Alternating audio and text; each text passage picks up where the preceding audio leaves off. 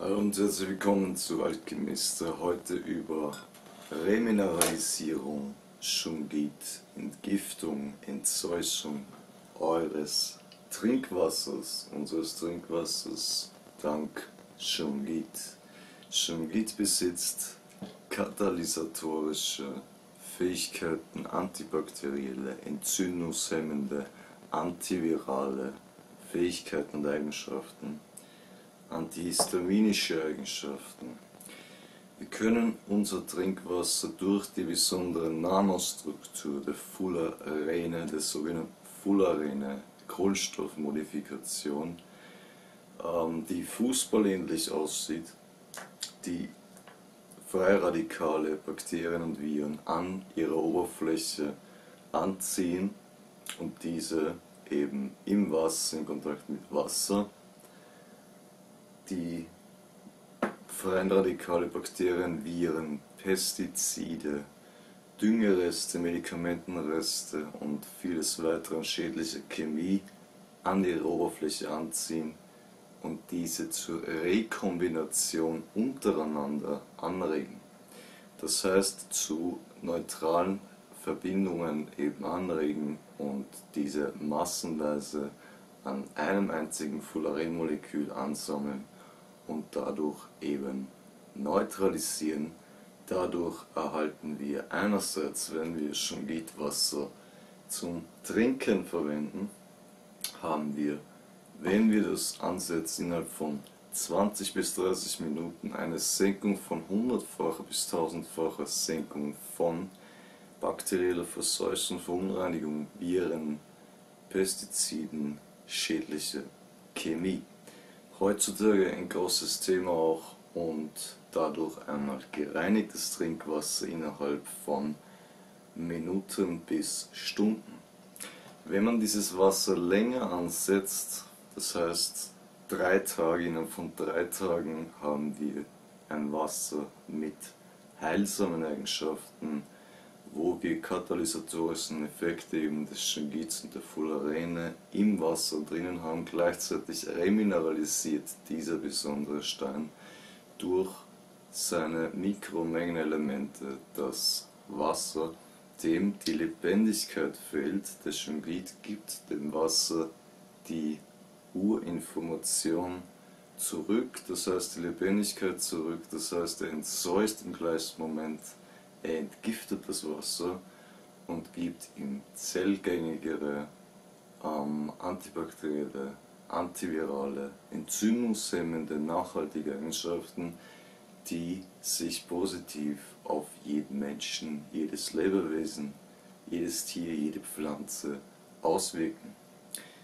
Ähm, die Eigenschaften von Fullerenen, wenn sich die Fullerene, die Kohlenstoffmodifikation, eben im Wasser lösen, über längere Zeitraum mit Wasser in Kontakt sind, dann haben wir diese Fullerene in unserem Körper und die können über Monate eben, wochenlang bis über Monate, bleiben die, so wurde innerhalb von Studien bestätigt, in unserem Körper und reinigen aktiv eben mit. Normalerweise haben wir die ähm, Antioxidantien, die eben ähm, erst eine Bindung eingehen müssen, die sich während dem Prozess der Neutralisierung von einem freien Radikal, einem Auslöser für Entzündungen, Mikroentzündungen im Gewebe, die oft Ursache der Pathologie einer Krankheit sind, können eben werden während einem dieses Prozesses verbraucht, verbrannt sozusagen. Ähm, unter anderem zum Beispiel Carotine oder Vitamin C ist das bekannteste Antioxidant. Und Ful die Fullerene sind sozusagen die, die Verbesserung von Antioxidants bzw. Ähm, das Antioxidant der Kohlenstoffe.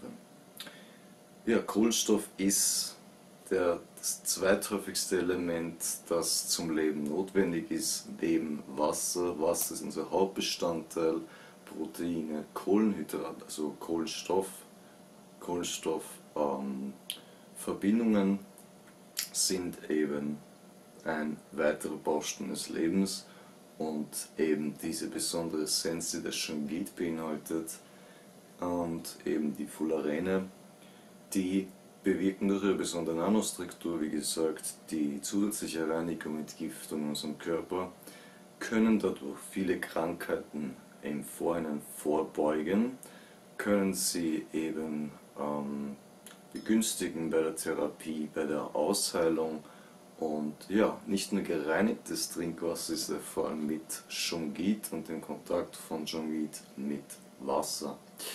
Was macht man damit? Wie macht man das? Einerseits haben wir den Edelshungit, die seltenste Form von Shungit auf Erden. Ähm, meistens kommt er aus Russland, am besten mit Zertifikat kaufen, dann wissen wir eben, dass er wirklich von dort kommt, von der Mine beziehungsweise in Spanien gibt es auch Shungit, hat man bestätigt. Ähm, Shungit immer prüfen auf die Echtzeit, das heißt elektrische Leitfähigkeit. Ähm, kann man schließen in Kontakt mit einer Taschenlampe zum Beispiel. Hier ist eine kleine LED-Taschenlampe, ich schraube den Deckel ab und nehme ein Stück. Shungit, das groß genug ist oder klein genug ist, und führe es auf den hinteren Kontakt der Batterie. Und ihr seht eben es. Man nimmt einen kleineren. Zoom-Gitstein und das Licht blinkt auf, also Strom. Leitfähigkeit ist das erste, was ihr überprüfen müsst, wenn ihr schon Gitsteine benutzen wollt und auf die Echtzeit eben überprüfen müsst. Ähm, erstens das, zweitens eben Edelsteingel wird vorrangig für Trinkwasser, Entzeugung, Aufbereitung, Remineralisierung verwendet. Warum? Weil es die reinste Essenz von Shungit ist und viel, also um ein Vielfaches mehr an Fullerenen eben beinhaltet, diese besondere Kohlenstoffmodifikation, die eben für die katalysatorische Wirkung vielerlei Eigenschaften des Shungits ähm, zuständig sind und unseren Körper eben zusätzlich bereinigen, unser Wasser wesentlich besser bereinigen, entseuchen von Freiradikalen, Bakterien, Viren, schädlicher Chemie, schädlichen Pestiziden, die mittlerweile in unserem Trinkwasser ebenfalls drinnen sind. Ähm, kommt immer auch auf die Gegend an, wo man das Trinkwasser her hat oder bezieht. Wenn ihr ähm, dauerhaft den Stein in Kontakt haben wollt mit eurem Trinkwasser, wie ich zum Beispiel hier in der Wasserkaraffe, da verwende ich dann meistens immer Edelschungit. 10 bis 20 Gramm Edelschungit in der Regel auf einen Liter Wasser.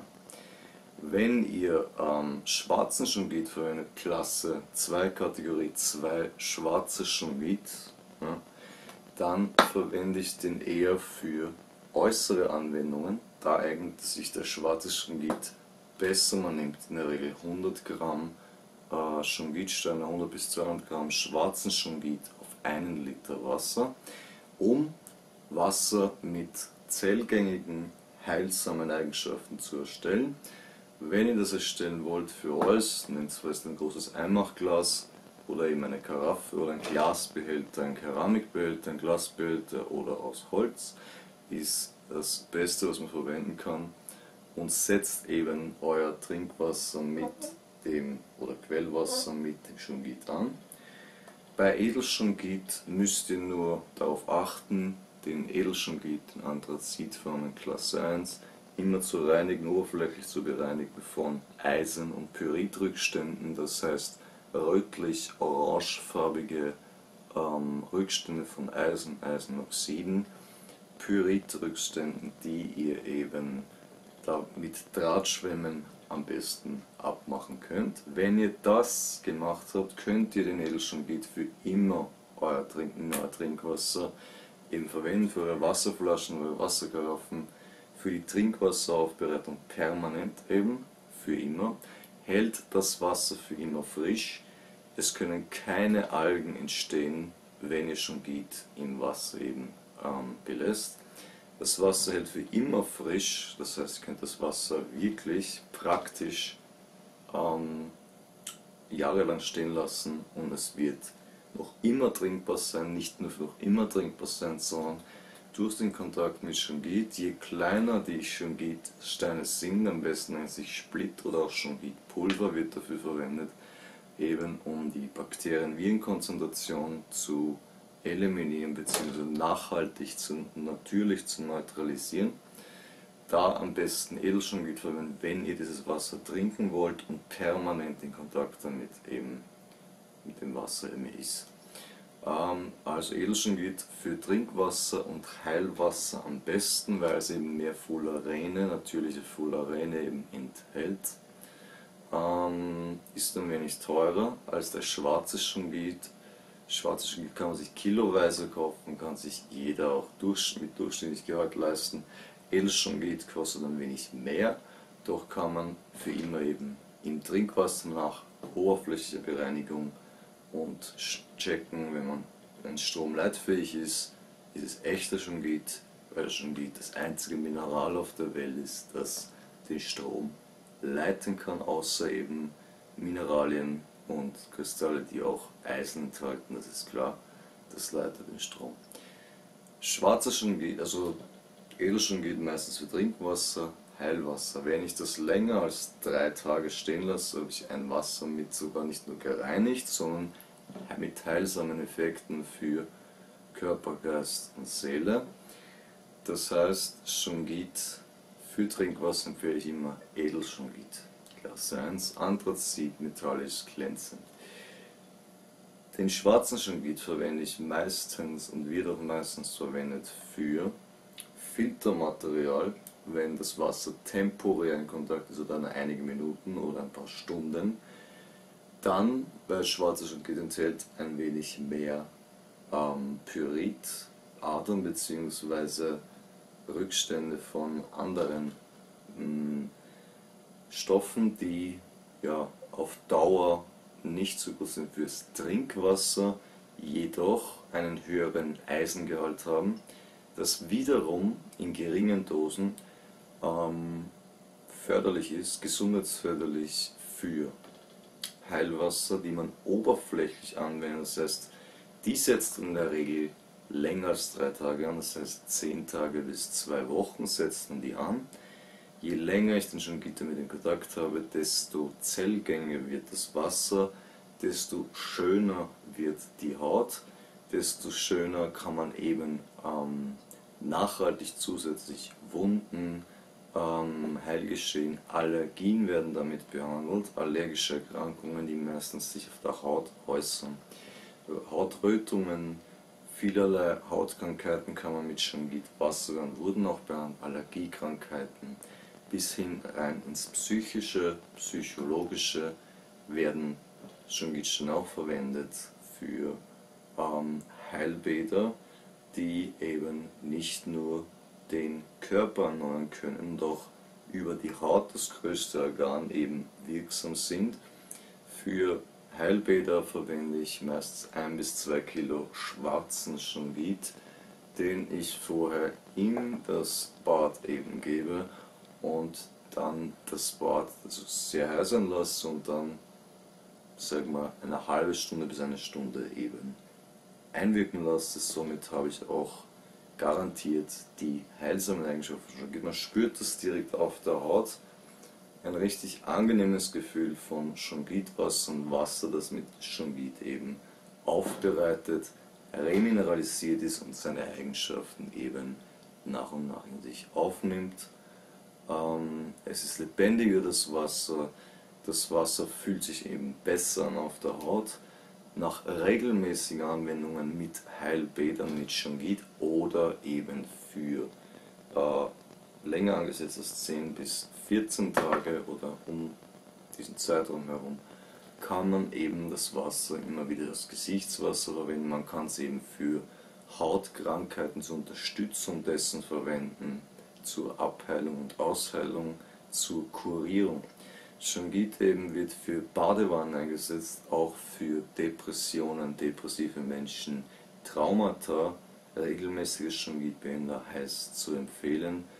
Ähm, nervale Krankheiten, nervliche Krankheiten, bis hin zu Rheumatismus, Gelenkserkrankungen, körperliche Beschwerden, ähm, Muskelspannungen, ähm, allergische Krankheiten habe ich schon gesagt.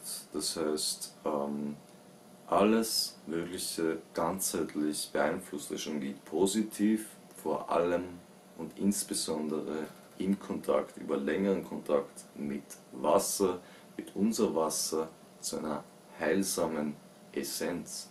Das heißt, Heilwasser ab drei Tagen, wenn ich es bis ja, einige Minuten, 20 Minuten bis drei Tage ansetze, habe ich ähm, gereinigtes Trinkwasser. Innerhalb von drei bis zehn oder 14 Tagen oder länger habe ich dann Heilwasser. Heilwasser, das eben kann ich mir so ansetzen, nach einer Zeit abfüllen und immer wieder verwenden. Ähm, für Filtermaterial eignet sich sowohl Edelschungit als auch schwarzes Schungit. Für Filtermaterial ähm, würde ich den schwarzen Schungit nehmen oder Edelschungit oder eine Mischung daraus. Äh, schwarzes Edelschungit ist ein Vorteil immer, er ist zwar teurer, jedoch muss ich ihn niemals ersetzen. Edelschungit kann für immer in euren Wasserfiltern oder Wasserfiltersystemen bleiben. Er kann durch seine nanotechnologischen Eigenschaften bzw. antibakteriellen Eigenschaften eben positiv dafür sorgen, dass Filter auch nach längerem Gebrauch eben einsatzfähig, äh, nach längeren Pausen, Unterbrechungen, das heißt, wenn ich längere Zeit auf Urlaub bin zum Beispiel, ähm, eben der Filter rein bleibt von Algen, von Mikroben, von Verseuchungen. Äh, bei Edelstein brauchen Sie keine Sorgen machen, ist für immer, sowohl im Filter als auch in der Karaffe, also in Trinkwasserflaschen, wo auch immer. Schwarze schon geht, müsst ihr nur darauf achten, dass man den bei längeren Gebrauch im Wasser insbesondere einmal jährlich auswechselt. Bei Filtergebrauch, bei häufigem Gebrauch auswechseln, ähm, weil der absorbieren kann, das schwarze Schungit absorptionsfähig ist. Das heißt, man gebraucht ihn nach einem Jahr im Filter, Wasserfiltersystem für Gießwasser, das heißt Pflanzen kann man es trotzdem geben, äh, profitieren ebenfalls von den Eigenschaften von Schungit weiter als Dünger, als Düngewasser, als Gießwasser, als ähm, ja, kann auch Untermengen als Granulatpulver oder die Rohsteine in die Erde und die Pflanzen wachsen dadurch besser, haben höhere, erhöhte Widerstandskräfte. Ähm, und werden weniger krank, sind widerständiger. Manchmal, oder beziehungsweise habe das ausprobiert, ähm, bei Tomatenpflanzen, die wachsen ähm, nicht nur widerständiger und ähm, besser, die werden aromatischer. Das habe ich bei Shungizu ausprobiert ähm, als Gießwasser und ja, also die profitieren genauso wie wir, die Pflanzen profitieren von Shungit, die Tiere, für Tiere kann man ebenso Shungit Wasser ansetzen, ist ebenso positiv. Ähm, also, wenn ihr Trinkwasser herstellt, Shungit Vorher checken, Edelschungit oberflächlich bereinigen von orange, rot, rötlich farbenen Pyritrückständen und Eisenrückständen, die möglich sein können. Wenn ihr Schungit bestellt, ähm, immer auf Stromleitfähigkeit checken, ob der den Strom leitet, sowohl schwarzes Schungit als auch Edelschungit.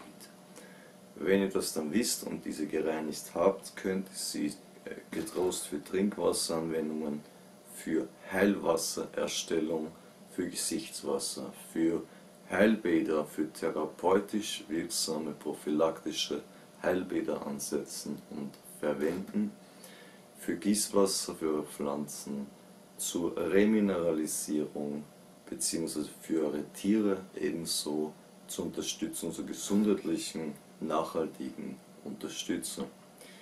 Ähm, die Beinhaltung voller Arene eben könnt ihr auch mehr lesen, zum Beispiel in meinem neuen Buch über Shungit, Taschenbuch oder E-Book verfügbar auf Amazon in Englisch und Deutsch. Shungit, kosmischer Katalysator, Transformationshilfe für Körper, Geist, Seele und Bewusstsein auf Amazon verfügbar, beziehungsweise die englische Version Shanghai Cosmic Catalyst Transformation Aid and Protection for Body, Mind, Soul and Consciousness. Da habe ich meine Erfahrung eben aus der Therapie, das heißt ähm, ausgebildetes medizinischer Masseur, jahrelang eben mit Shongit behandelt, ähm, vorrangig Akupressur, Massagen, medizinische Techniken eben damit optimiert, sensibilisiert, verbessert äh, und damit auch die Heilung optimal begünstigt und eben den ganzheitlichen Ausgleich. Darüber habt ihr mehr in diesem Büchlein, ähm, ca. 100 Seiten auf Englisch oder Deutsch. Habe ich den Link gleich darunter.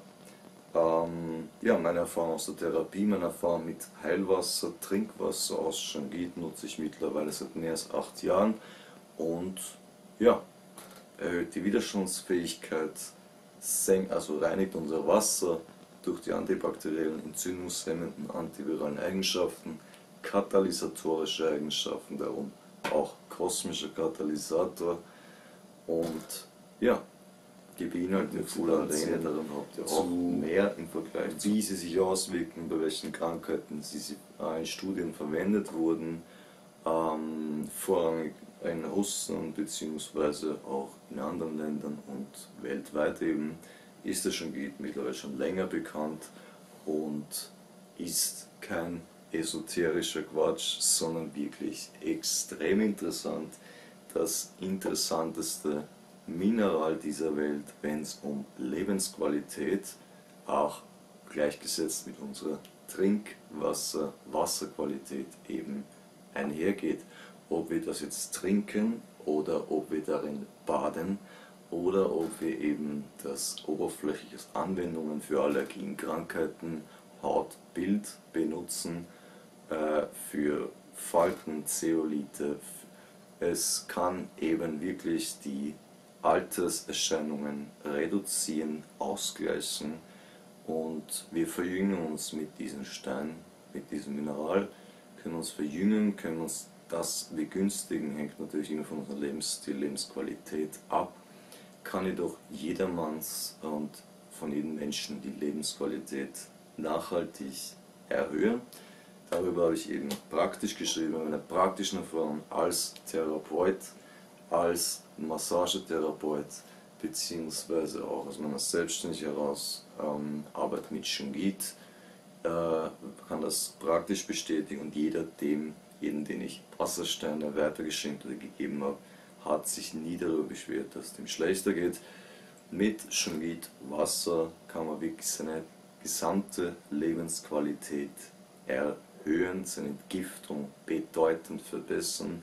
Es wurden auch Studien zu vielerlei Krankheitsbildern eingesetzt, über die will ich jetzt nicht reden, beziehungsweise allerlei Krankheitsbilder, die eben positiv durch regelmäßiges Baden mit Shungit Wasser, regelmäßiges Trinken von Shungit Wasser oder Anwendung von Heilessenzen angesetzt mit Shungit verbessert, optimiert wurden, beziehungsweise deren Lebensqualität Heilgeschehen können schneller, besser ablaufen mit Shungit. Ja, darum geht es auch in meinem Büchlein. Könnt ihr euch auf Amazon checken. Das heißt auf Englisch und auf Deutsch.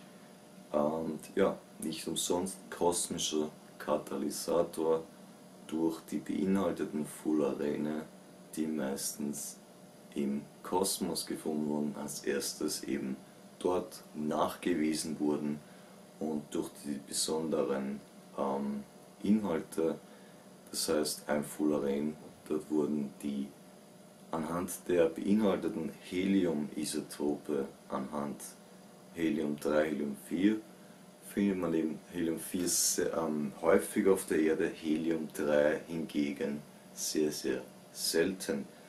Und das eben meistens in Meteoritgestein, meistens im Weltraum eben, bei Kohlenstoffsternen. Und ja, Fullerene sind wirklich eine der besondersten Strukturen, die die Welt zu bieten hat. Was heißt die Welt? Vielleicht doch das Universum.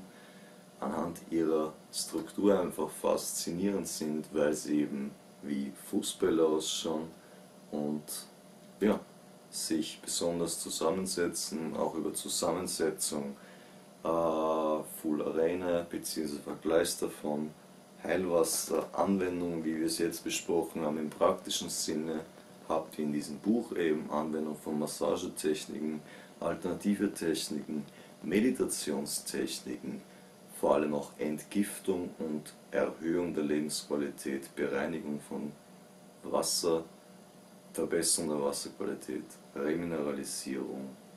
Ja, Shungit ist wirklich ein Helferstein. Shungit ist ein, das besonderste und das wunderbarste Mineral, das eben diese Welt zu bieten hat anhand seiner Eigenschaften, könnte ich ihn auch getrost den König der Heilsteine oder König der Steine nennen, weil Shogit eben so viele positive Eigenschaften eben besitzt, ohne negative eigentlich zu besitzen. Ähm, bei Anwendung von Shogit muss man wenig beachten, eben nur ob er echt ist, stromleitfähig oder nicht, oberflächlich bereinigen bei Anwendung mit Trinkwasser, und dann kann ich den Edelschungit für immer verwenden, schwarzes Schungit regelmäßig austauschen bei Verwendung für Trinkwasser und Filtermineral. Ähm, für Leute, die ihr eigenes Grundstück haben mit Brunnen, noch so zum Schluss dazu, ähm, kann man ebenfalls 50 bis 200 Kilo in etwa um den Dreh äh, versenken im Trinkwasserbrunnen. Wenn ihr eigene Brunnen eben habt, dann empfehle ich euch Shungit, Rohsteine, schwarzen Shungit oder auch Edelshungit im Brunnen versenken und eben die Wasserqualität wird deutlich besser werden. Ja, also Shungit, der vielseitigste das vielseitigste und eines der wunderbarsten Mineralien, die diese Welt zu bieten hat. Und ja, probiert es selbst aus. Probieren geht über Studieren. Und man muss es eben immer selbst testen, ob das so stimmt. Das Wasser fühlt sich auf der Haut besser mit Shungit. Das Trinkwasser ähm, ist geschmeidiger, besser. Es ist geruchsneutral es schmeckt auch besser und ja, also probieren geht über Studieren, könnt ihr mit eurer Lebensqualität wirklich nachhaltig um ein Vielfaches verbessern mit Shungit und die Möglichkeiten Shungit einzusetzen sind wirklich sehr, sehr vielseitig. Das ist auch das Schöne am Leben und auch das Schöne an diesem besonderen Mineral und Gestein. Soweit dazu. Wir sind alle Wasserwesen und Shungit verbessert das Wasser. Shungit, ein Stein mit sehr, sehr vielen Lösungen für uns, für unsere Umwelt, für eine bessere Zukunft, für die Pflanzen, für die Tiere, für die Menschen. Soweit dazu zu Shungit und ähm, Remineralisierung schon geht und Wasser, Entseuchung, Heilwasser, Trinkkuren und Verbesserung der Wasserqualität ist weiter gleich Lebensqualität. Danke für eure Aufmerksamkeit und bis zum nächsten Mal, euer Matthias.